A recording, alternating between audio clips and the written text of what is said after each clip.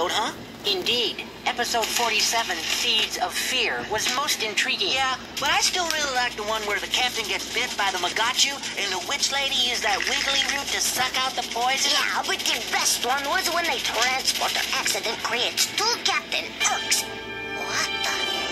This does not look like a Federation conference. And since when was Celos 5 so pink? Spock, where are we? Sensor readings confirm that this is not the Galactic Federation conference on Celos 5. And uh, what's your analysis, Doctor? Well, they're not green, but, uh...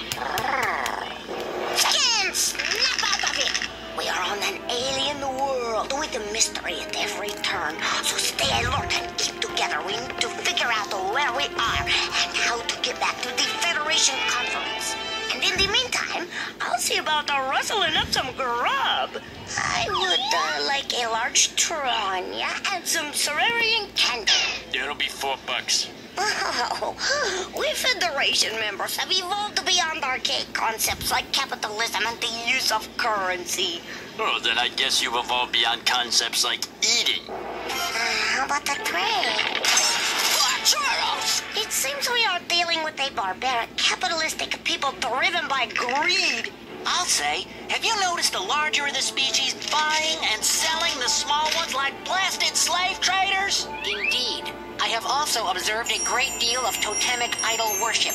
It is obvious this is a primitive and backward society, so try to play along so as not to arouse their suspicions. So, are you boys gonna block my booth all day, or are we gonna do business? Well, uh, I don't know. Spork, is there anything we need? Our reserve power is running low. The warp reactor could use a new bilithium crystal. Bicentennial crystal?